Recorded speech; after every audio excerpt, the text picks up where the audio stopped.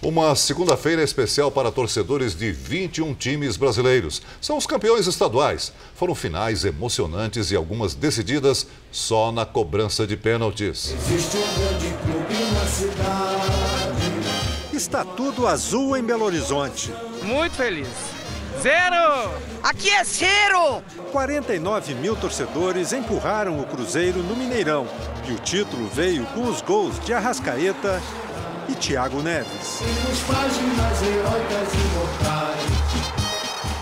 Depois de cinco anos, campeão de novo. Apontado como a quarta força do Campeonato Carioca, o Botafogo venceu o Vasco no tempo normal e, com duas defesas de Gatito Fernandes na decisão por pênaltis, conquistou a taça.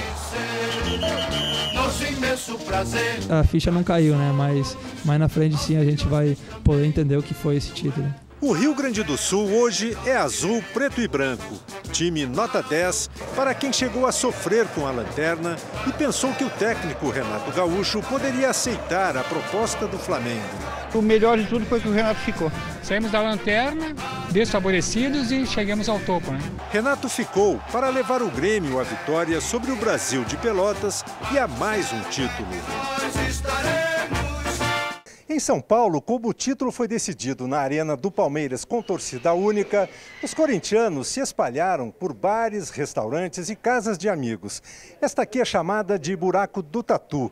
É toda decorada e grafitada em preto e branco, cheia de referências ao Corinthians. Neste domingo foi reduto de uma grande festa.